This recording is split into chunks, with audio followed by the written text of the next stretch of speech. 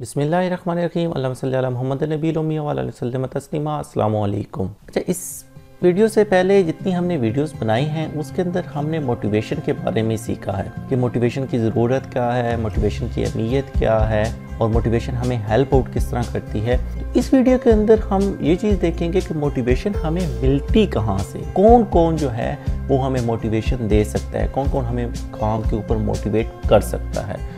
ان لوگوں کی یا ان چیزوں کی ہم نشاندہی کریں گے کہ کون کون لوگ جو ہیں ہمیں موٹیویشن دے سکتے ہیں۔ تو ان میں سب سے امپورٹنٹ اور سب سے پہلا جو فیکٹر ہے، پہلی جو شخصیت ہے جو ہمیں موٹیویشن دے سکتی ہے وہ ہے ہمارے والدین۔ کسی بھی انسان کے زندگی میں نا، انسان کے والدین کا ایک کلیدی کردار ہوتا ہے۔ انسان جیسے ایک مشہور کہاوت بھی ہے کہ انسان کی ماں کی جو گود ہے، وہ انسان کی پہلی درسگاہ ہوتی ہے۔ انسان کی کامیابی میں جو انسان کی والدین کا کردار ہوتا ہے، وہ کسی بھی چیز سے بڑھ کے ہوتا ہے۔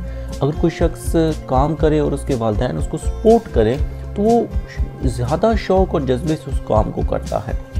اور اگر کسی وجہ سے اس کام میں اسے ناکامی ہو جائے، وہ کسی وجہ سے اس کام کو مکمل نہ کر سکے، تو اگر اس شخص کے، اس بندے کے والدین سپورٹنگ ہیں، اس کو پش کرتے ہاں بیٹا کوئی مسئلہ نہیں، اس بار نہیں تو نیکسٹ ٹائم سے۔ کیا ہوتا ہے کہ وہ بندہ جو ہے، وہ اور زیادہ محنت سے، شوق سے اس کام کو دوبارہ کرتا ہے۔ اور الٹیمیٹلی کیا ہوتا ہے کہ وہ انسان اس مقصد کو، اس کام کو مکمل کر لیتا ہے، اس میں کامیاب ہو جاتا ہے۔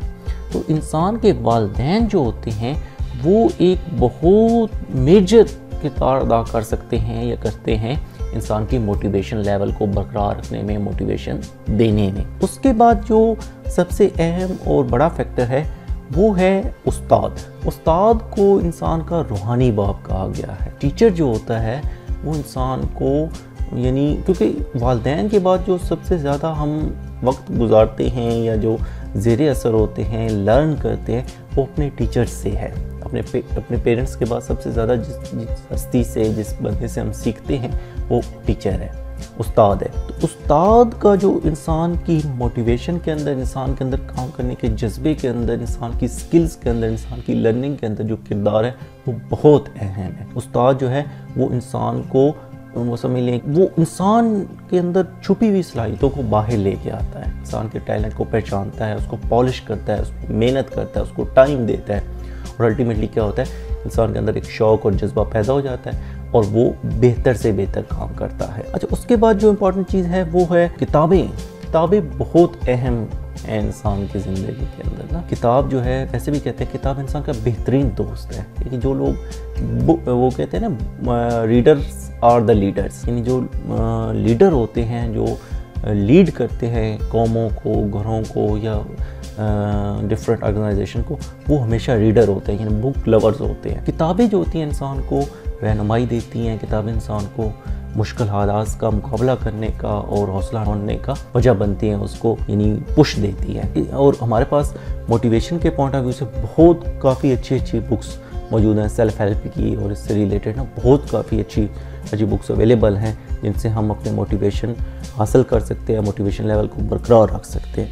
اچھا اس کے بعد ہے موٹیویشن کے ریلیٹڈ لیکچرز موٹیویشن کے ریلیٹڈ لیکچرز جو ہیں، مختلف ہم دیکھتے ہیں بہت سارے جو موٹیویشن سپیکرز ہیں، جو اچھے لوگ ہیں یا جو مثبت لوگ ہیں، ان سے ان کی جو لیکچر ہوتا ہے یا جو ان سے نشست ہوتی ہے، وہ انسان کو بہت کچھ جو ہے نا فائدہ دیتی ہے۔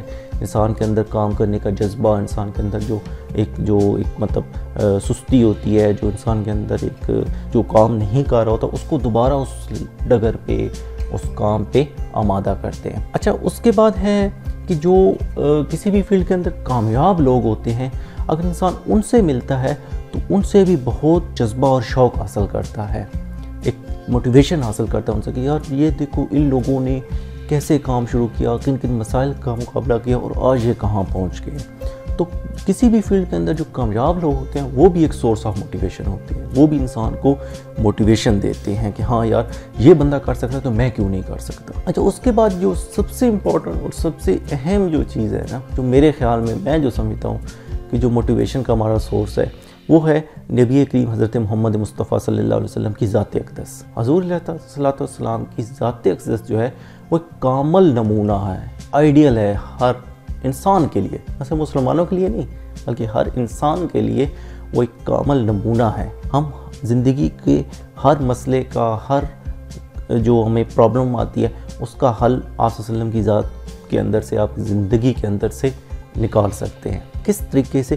کیونکہ نبی کریم صلی اللہ علیہ وسلم نے جو مشکلات اس نبی کریم صلی اللہ علیہ وسلم نے فیس کی ان حالات کے اندر جس طریقے سے انہوں نے اپنی تبلیغ کو اور ان چیزوں کو انسانوں کی رہنمائی کے لیے اس عرب معاشرے کے اندر جس طریقے سے کیا، وہ ایک بہت ٹف کنڈیشن تھی۔ شاید اس سے مشکل کنڈیشنز نہ ہوں۔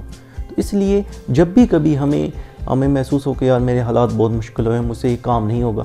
تو ہمیں چاہیے کہ ہم نبی علیہ وسلم کی ذات اقدس کو دیکھیں کہ انہوں نے ان حالات کا کس طریقے سے مقابلہ کیا، کس طریقے سے انہوں نے لوگوں کی تنقید، کفار کے ظلم و جبر اور ساری چیزیں برداشت کر کے الٹیمیٹلی انسانیت کو جو ہدایت کا اور اللہ کا پیغام ہے، وہ پہنچایا۔ تو مجھے امید ہے کہ ان اس ویڈیو سے آپ کو یہ سمجھنے میں کافی آسانی ہوئی ہوگی کہ کون کون ہمیں موٹیویشن دے سکتا ہے۔ اور اس قسم کی مزید ویڈیوز دیکھنے کے لیے ہمارے یوٹیوب چینل اسٹار ویچو ٹیٹرس کا وزٹ کریں لائک کریں شیئر کریں۔ جزاکم اللہ، السلام علیکم۔